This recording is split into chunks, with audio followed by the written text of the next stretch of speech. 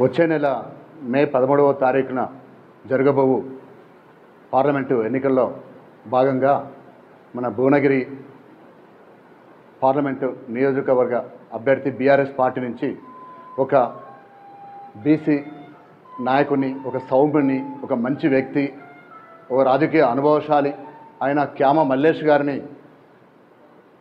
మాజీ ముఖ్యమంత్రి మరియు బీఆర్ఎస్ పార్టీ అధినేత కేసీఆర్ గారు నిలబెట్టడం జరిగింది. మరి అటువంటి వ్యక్తి ఎన్నికల ప్రచారంలో భాగంగా ఈరోజు భువనగిరిలో మన బీబీనగర్ మండల నాయకులు కార్యకర్తలతోటి మరి క్యామ మల్లేష్ గారి గెలుపు కోసము ఇక్కడ సమావేశం ఏర్పాటు చేసుకోవడం జరిగింది. మరి అందులో భాగంగా మరి బీబీ నగర్లో ముందుగా ముఖ్య నాయకులు మరి మాజీ ఎమ్మెల్యే పైల శేఖర్ రెడ్డి గారు మరి జడ్పీటీసీ జడ్పీ చైర్మన్ గారు మరి లోక నాయకులతో కలిసి రోడ్ షో కూడా నిర్వహించడానికి ఇక్కడ ఇక్కడ మేము అందరం మాట్లాడుకోవడం జరిగింది.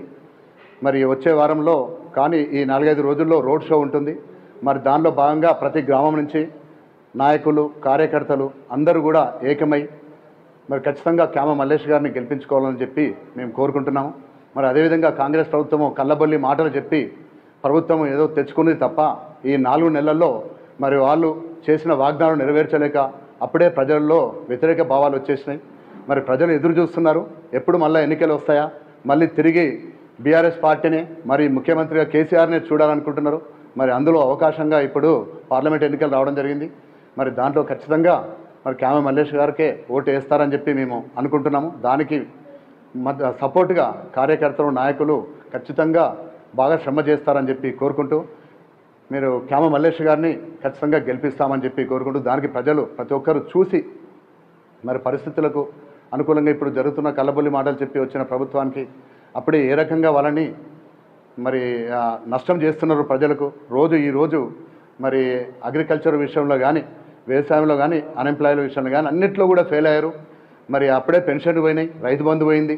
మరి ఇవన్నీ కూడా లేదు కరెంటు వస్తలేదు. మరి ఇవన్నీ ప్రజలు గుర్తిస్తున్నారు.